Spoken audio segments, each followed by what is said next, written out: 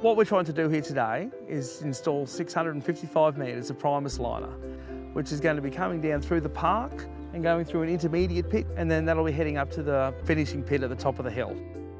This is a really innovative project. There's only been a few other installations in the country and uh, this will be the largest installation of its kind in Australia. The length of this project is really special because it's 1,800 meters. Line is a worldwide unique relining solution for the rehabilitation of pressure mains. The hose pipe itself is actually in pretty good condition and therefore can take the uh, external load, as in of the soil on top of the pipe, for another 50 years without a problem. So this hose inside is a, is a Kevlar hose with an inside liner of PE. It basically can be folded up and put on a reel and helps us pull it all through the inside of the hose pipe.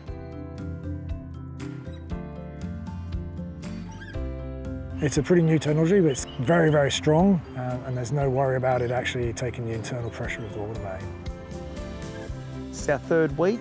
We should hopefully have the pipe commissioned by the end of next week. Excavating this job would probably take up to six months. The work site is discreet, it's out of the way, we're not disrupting anybody's traffic. Half the people in the street don't even know that anything's happening in there. I speak for me and my boys. We're really proud to actually succeeded in this venture. So it's pretty exciting for us, but the team in particular, we have so much confidence in what they're doing that we really trust the product they'll produce and that they'll do it to the highest uh, possible standard as well. It's a very big project, but I love the fact our team's doing it and um, that we're working so collaboratively with uh, such an innovative company.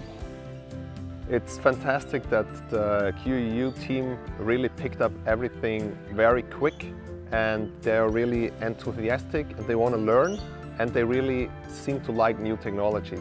The advances in technologies keep coming and keep coming and, and the range of, of, tools we have in the trenchless and toolbox is getting better and better and such that we're going to be able to do more and more work in a trenchless manner.